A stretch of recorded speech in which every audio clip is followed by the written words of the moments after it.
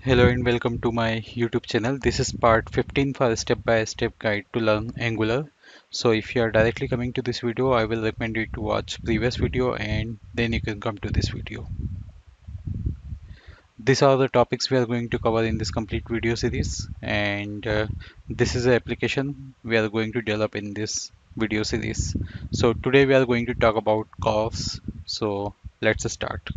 So this CORS uh, stand for cross origin resource sharing. So if we take example of our application, so our application origin UI application origin is uh, it is at localhost uh, 4200 and our API origin is localhost 44325. So uh, simply if I will take my registration from example, so if I will try to post my registration from from my localhost 4200 to my API 44325, then it will not allow and I will get error of CORS. So to fix that, we are going to uh, enable CORS in our API. So let's open Visual Studio and open our API this is API we developed in the previous video so now let's go to solution explorer and open startup.cs file. And here I'm going to configuration service method and here I'm going to enable CORS so let's write some code. Here service dot I am going to say add CORS and here we are we can see this two overload version. So second one is saying to pass some options. So let's pass the options. And here in the options we can see this add default policy add policy so we are having uh, basically three ways to enable CORS We can use this add policy and make our policy. We can use add default policy or we can use enable CORS attributes at our controller or method level. So I'm going to use this uh, 8 default policy. So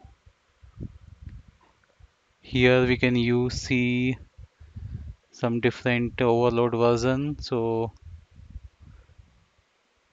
it's saying uh, we can pass the model builder. So let's pass the builder object here.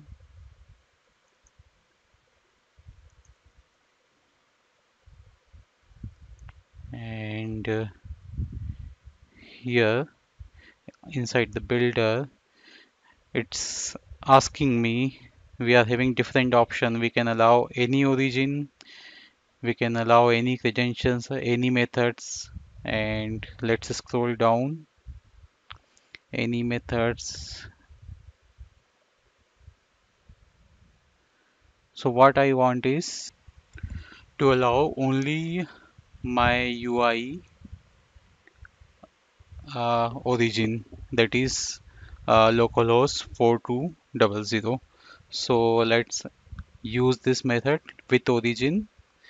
And inside that let's copy our UI URL so this is our UI so let's copy this. And uh, it's accepting string. So let's paste it here.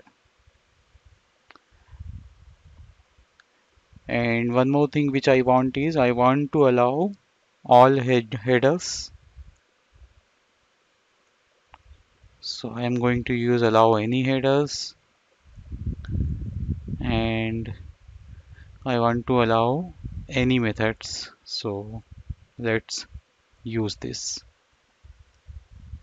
and save this. In the last step I need to tell my application to use a CORS so this is my application object. So here. I'm using method use CORS and let's save this So now we have successfully enabled uh, CORS for our uh, UI. So let's build our API first.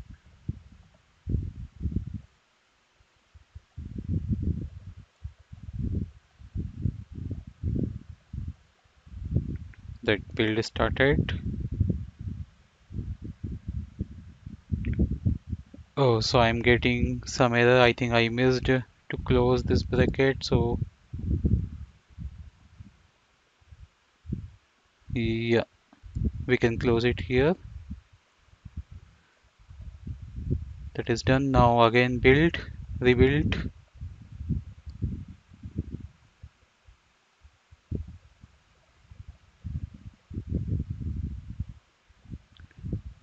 Yeah, and let's run our application.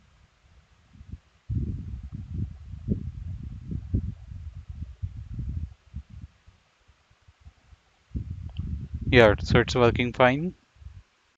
Yeah, so that's all for this video. Uh, in the next video, we will post our registration form to our API. Thank you for watching.